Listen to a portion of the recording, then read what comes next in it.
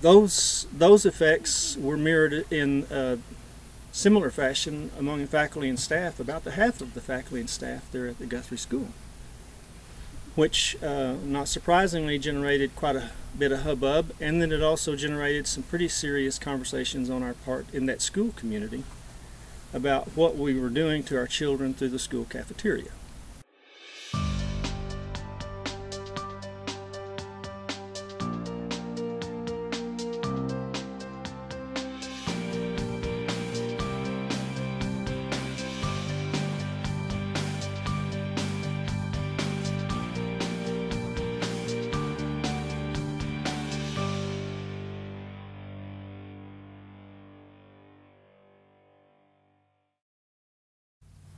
All right, we're rolling. So first I'm going to ask you your full name.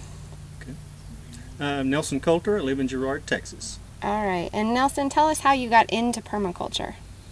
Uh, we sort of got into permaculture, uh, say we, my wife and I, uh, my lovely bride of 38 years, Mo, uh, got in, uh, in permaculture uh, thought uh, primarily as a result of our initial um, toe dabbling into changing the way we eat.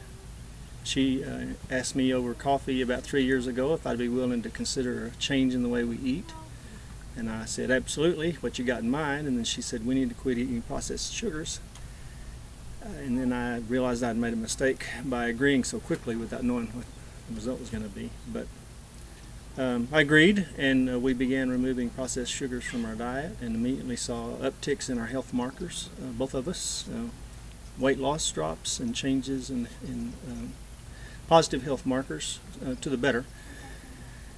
Um, that led to um, exploration of other possibilities. Uh, we already owned ranch property here in Kent County of Texas, which is in the northwestern portion, right at the bottom of the Texas Panhandle, the rolling plains of Texas. And um, the more we began to study about healthy eating uh, and the impact of nutrition on our on our personal lives and personal bodies, uh, the more convinced we are, were that um, that needed to translate into um, action on our part in relation to the health and well-being of our children and our grandchildren. And uh, we're both lifelong educators, and I, at the time I was a superintendent of schools. Uh, I felt like it needed to begin translating into uh, the people that worked uh, with me in the, at school and also the children that we served. So that was the initial step. Um, after that, uh, we began um, educating ourselves mostly through online TED Talks, uh, blog spaces, and became acquainted with a physician in Lubbock by the name of Dr. Ben Edwards, who is a functional integrated, uh, integrate, he, he practiced what he calls functional integrative medicine. And Ben uh, agreed uh, to come talk to my faculty and staff at Guthrie about uh, general health and well-being, uh, and, uh, and that would be about two years ago. That generated a lot of discussion among the professionals and, and working folks in our in our community there in Guthrie at the time, and um, so it accelerated our education um, because some a couple of the things that Ben promotes, um, and we began to believe in uh, pretty um, um, stridently is the fact that um, food is our medicine and that uh, you cannot exercise your way out of a bad diet and that um, what you put into your body um, is going to result in some sort of consequence one way or the other. And so we, that generated a lot of conversations. Uh, Mo intensified her online research with regard to health and well-being Ben recommended to us the book called Wheat Belly when he visited with our faculty and staff, and uh, Mo read it first, and then so um, not long after she read it, she said, I think we need to make another change in the way we eat personally. And so we, we removed uh, most of the uh, um, processed grains uh, that are in the typical American diet. Uh, Dr. Edwards calls it the standard American diet, SAD for short.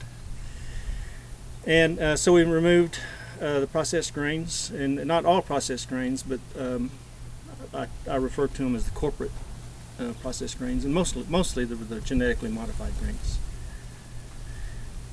Again, uh, that generated another uh, cycle of uptick in health for my wife and I. Um, I was able, just within a few months, to completely come off of blood pressure medicine, which I've been on for years. I was able to uh, quit taking antacids, which I had taken for over a decade at the recommendation of this physician. Completely, um, just don't. I don't have heartburn or acid reflux anymore ever. And um, it also, I wasn't uh, expecting this, but it eliminated the need for um, painkillers of any kind. I've had in the last two years, I've only had two aspirin. Those those effects were mirrored in uh, similar fashion among the faculty and staff. About the half of the faculty and staff there at the Guthrie School, which uh, not surprisingly generated quite a bit of hubbub, and then it also generated some pretty serious conversations on our part in that school community about what we were doing to our children through the school cafeteria. Um, running parallel to that was the, the thinking uh, in the minds of my wife and I about uh, the moral obligation that we had if, if we could see that kind of significant health improvement in ourselves, then certainly it had some bearing on our children and grandchildren. So um, um, we were already raising pretty what we thought was pretty healthy beef uh, and providing that to our families, but we made the conscious decision to go completely grass-fed, grass-finished with no antibiotics or hormones in our beef. Uh, on our ranch, we began raising chickens, um, both for um, meat and for eggs, and um, chose to go completely pasture, pasture-raised, pasture-fed, and uh, no organics, no antibiotics. I mean, um, no, uh, no antibiotics and no um, what's the word I'm looking for? Um, hormones of any kind.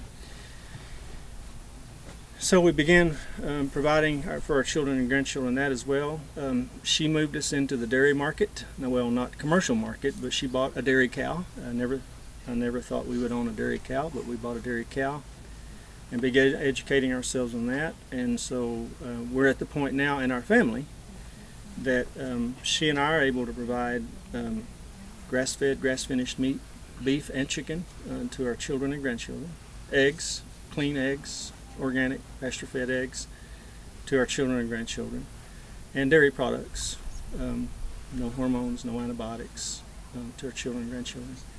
And we are now interested. Uh, those conversations led us in, into a, a stream of thought about uh, if, if clean food is so important, then where does it come from? So we kept educating ourselves backward about where clean food comes from.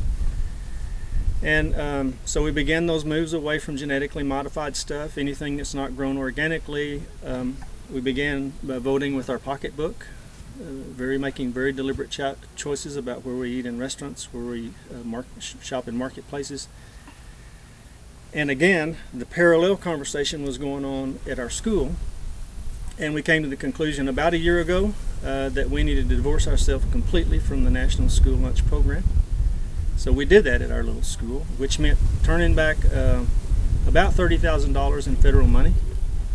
But uh, our, our, school board agreed with us uh, when we when we put the evidence in front of them that we were not only um, not serving our children well by feeding them processed sugars, processed grains, multiple doses of grains, skim milks, all that commercialized stuff, but in fact, we were embedded in them habits, lifelong habits that were going to be detrimental to their happiness and well-being for a lifetime.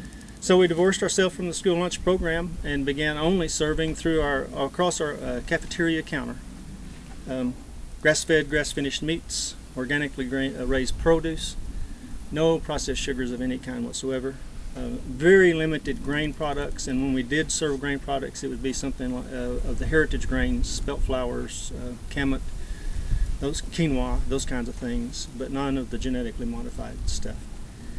And um, real butter, real butter, no margarine, um, and um, only whole milk, only whole organic milk. We cut out uh, skim milk, 2% milk, strawberry milk, chocolate milk.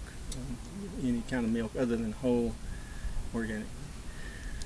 And also began seeing very positive upticks um, in the health and well-being of the students at the school. And one of the things that uh, was a little bit surprising to us, and we've even had visitors from regulatory agencies show up and visit, and make note of the fact that when they stand in our cafeteria and watch our kids finish their lunch, almost no food went in the trash can.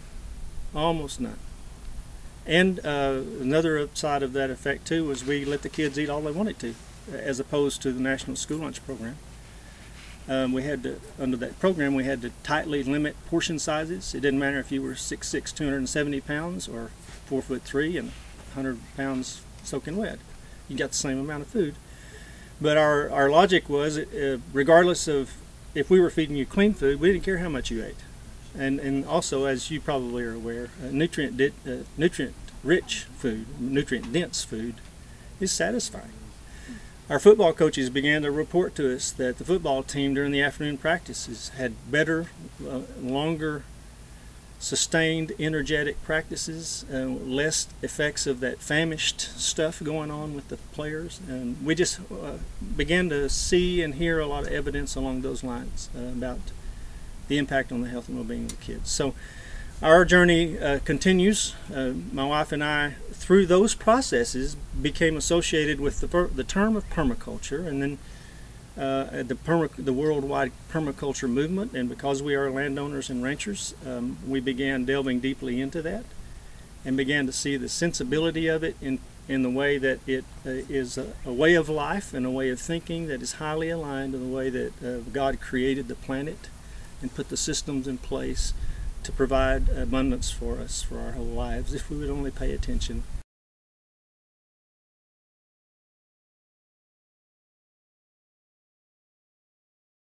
what it has done for me, the, the concept, the permaculture concept, has done for me more than anything else, I believe, is given me a better grasp of the integrated and holistic nature of the way of thinking.